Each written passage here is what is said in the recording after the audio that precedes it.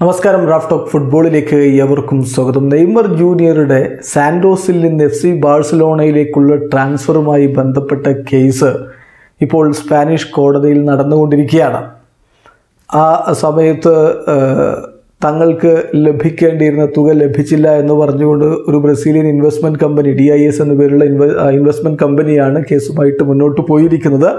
അവർക്ക് നെയ്മറുടെ നാൽപ്പത് ശതമാനം റൈറ്റ് ആ സമയത്തുണ്ടായിരുന്നു എന്നാണ് അവരുടെ വാദം.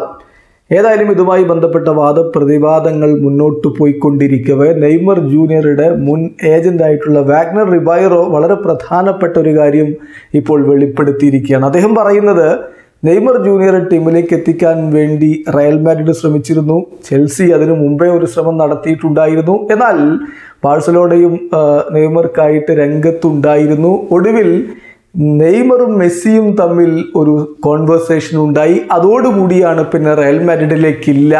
ബാഴ്സലോണയിലേക്ക് പോയാൽ മതി എന്ന തീരുമാനത്തിലേക്ക് നെയ്മർ ജൂനിയർ എത്തിയത് എന്നാണ് ഇപ്പോൾ അദ്ദേഹം പറയുന്നത്. ചുരുക്കത്തിൽ ബാഴ്സലോണയിലേക്ക് നെയ്മർ ജൂനിയർ എത്താനുള്ള എസെൻഷ്യൽ ആയിട്ടുള്ള കാരണം ലിയോ മെസ്സി ആയിരുന്നു എന്ന് അദ്ദേഹം പറയുന്നു. അദ്ദേഹത്തിന്റെ വാക്കുകളിലേക്ക് നമ്മളൊന്ന് പോവുകയാണ്. അതിപ്പം മുണ്ടോ ഡിപ്പോർട്ടിവോ റിപ്പോർട്ട് ചെയ്തിട്ടുണ്ട്.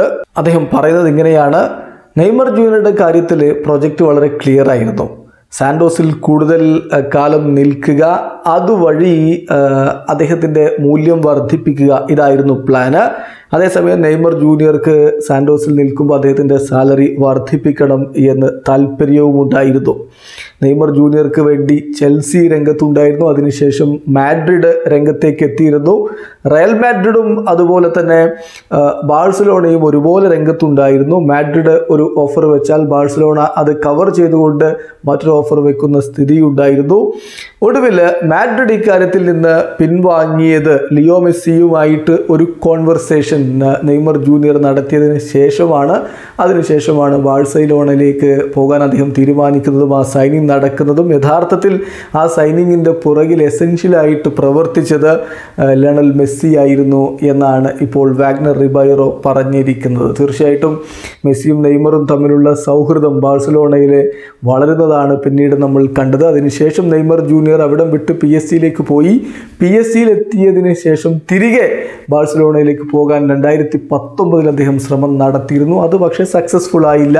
ഒടുവിൽ ലിയോ മെസ്സി പാരീസിലേക്ക് എത്തുന്ന കാഴ്ച നമ്മൾ കണ്ടു. അങ്ങനെ ആ സുഹൃത്തുക്കൾ ഇപ്പോഴും ഒരുമിച്ച് മുന്നോട്ട് പോയിക്കൊണ്ടിരിക്കുകയാണ്. ഏതായാലും നെയ്മർ ജൂനിയർ ബാഴ്സലോണയിലേക്ക് എത്താൻ കാരണക്കാരനായത് മെസ്സിയാണ് എന്ന് തന്നെയാണ് ഇപ്പോൾ വാഗ്നർ റിബൈറോ പറഞ്ഞിരിക്കുന്നത്. എന്തായാലും ഇതോടൊപ്പം ഒരു കാര്യം കൂടി നമ്മൾ ചേർത്ത് വായിക്കണം. നെയ്മർ ജൂനിയർ കോടതിയിൽ പറഞ്ഞത് ബാഴ്സലോണയിലേക്ക് എത്തുക എന്നുള്ളത് തന്റെ സ്വപ്നമായിരുന്നു. കുട്ടിക്കാലത്തെ സ്വപ്നമായിരുന്നു.